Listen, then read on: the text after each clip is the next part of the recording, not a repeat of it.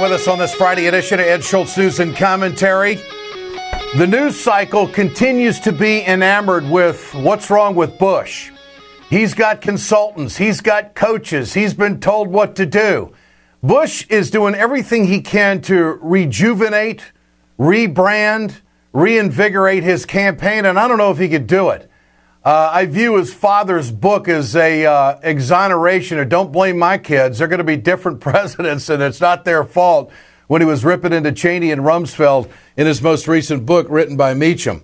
Uh, but what Bush is saying, uh, going after Rubio, I thought it was the right thing to do. I mean, I do think that uh, senators have an obligation to make as many votes as they possibly can, and that, and then not slam the process.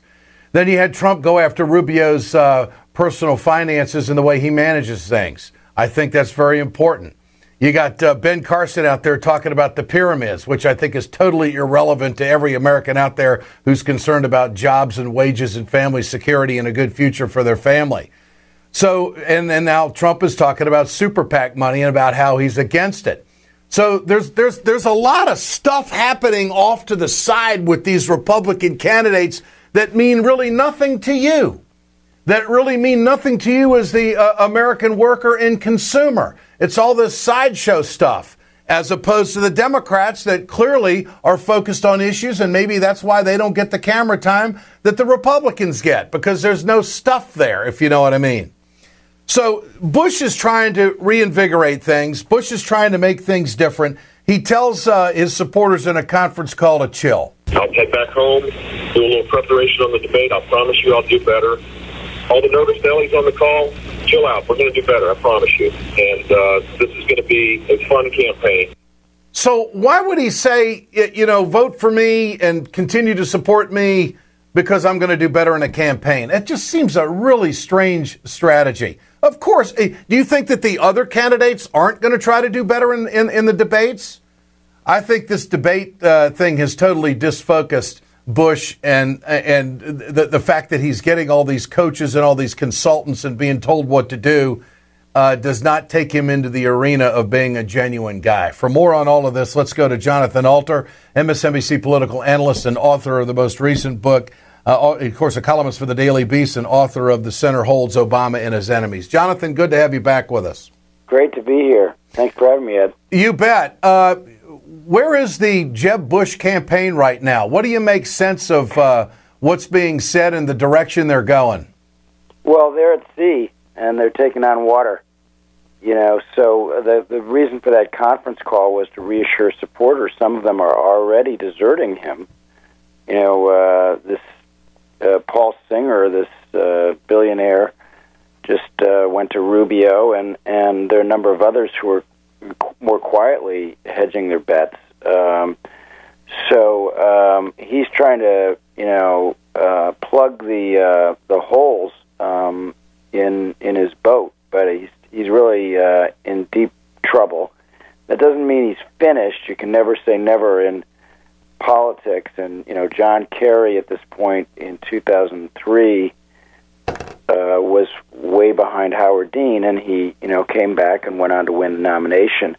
The difference is that Bush, in this case, is is not just behind one person; he's behind several uh, of the Republicans, and uh, his odds of being the nominee um, are greatly reduced. Yeah. Uh, in fact, I would say that it is unlikely at this point that Jeb Bush will be the Republican nominee. So he's, you know, he's trying to keep his people cool and uh, play for a play for a comeback. But I don't even think uh, a strong debate performance at this point would change his fate very much. I, I don't either, and I don't think this does him any good. This admission that he's got a new po- political consultant and he's got uh, coaches out there on debates. Listen to this.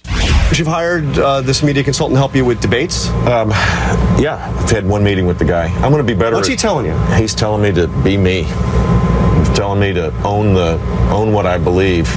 Do you need a consultant to tell you that? Yeah, it's amazing, huh? Probably not. Probably not. What do you make of that, Jonathan? Well, I think he, that's sort of an appealing side of Jeb Bush. You know, he's responding like a human being. yeah, it's amazing. You need a consultant nowadays to, you know, bring up your debate performance, but that is you know, what he did need some advice. Uh, he hasn't been forceful enough in debates. Uh, he walked right into a trap that Rubio set for him. He never should have brought up Rubio's uh, attendance record in the Senate because, you know, he should have known that uh, Rubio could fling um, uh, John McCain's uh, attendance record or Barack Obama's in his face, and it just nobody cares that Florida Yeah. constituents, you know, didn't get him to vote on what were lopsided votes anyway. It's not like his vote would make a difference, you know, and those votes he missed are not significant. There's no record that he missed any major vote where his vote would have made the difference in, in Rubio's case. So, you know, why did Bush even bother to raise that? There were so many other things he could have uh, gone to if we wanted to attack uh, Rubio. So he just got clobbered on that exchange, and Rubio responded very effectively. And um, you know, the mentor has now uh, been supplanted by the mentee, and I, I find it hard to imagine that he's going to be able to uh, take down Rubio. And even if he does. Um, He's got a bunch of other candidates Yeah. to worry about. I think It- the country's just moved past the Bushes. You know, I, I think uh, they have. I, I- I think you're right on that, and I think that there is such a visible frustration uh, amongst Jeb Bush right now surrounding him that he loses a lot of credibility that he can lead because he seems somewhat disfocused by Rubio, disfocused by everybody else instead of really Well, zeroing in on what he would be all about.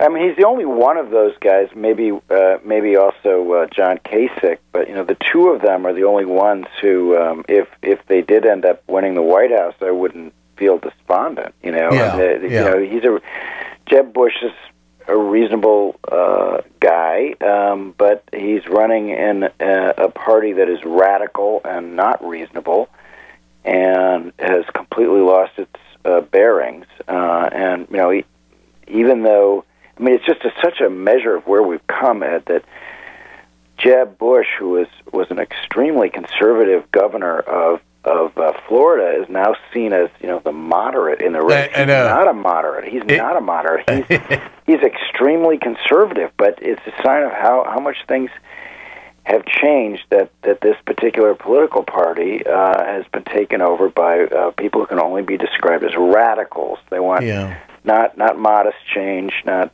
sensible change, but radical change. The Ryan budget is a radical uh, document. You know, this is Paul Ryan. Again, he seems like a moderate guy now compared to some of these other folks, but these are you know these are, are massive cuts in Pell grants, massive cuts uh, in uh, any kind of uh, program, federal programs uh, for children. Uh, you know, right on down the list, um, and and um, so you know, Bush.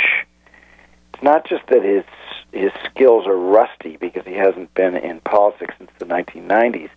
It's that you know he's kind of Rip Van Winkle. He woke up and suddenly uh, his his party had been taken over by uh, Yeah. by what uh, And he doesn't know how to handle the it. president said they're they're cray, like you know the rappers say crazy. You know they're cray. And, Uh, and he doesn't know how to handle it. And now he's He made New know how to Ham- handle it. He now he's made New Hampshire the firewall. Here he is saying he's going to win it. What was it like having a dad growing up being being president?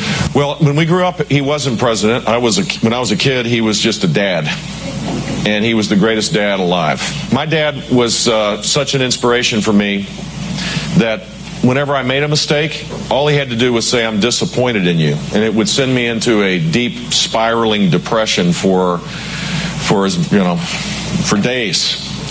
Because I admired him so much, I respected him so much. He didn't have to lift a hand. He taught me right and wrong by how he acted, how he behaved, how he treated others.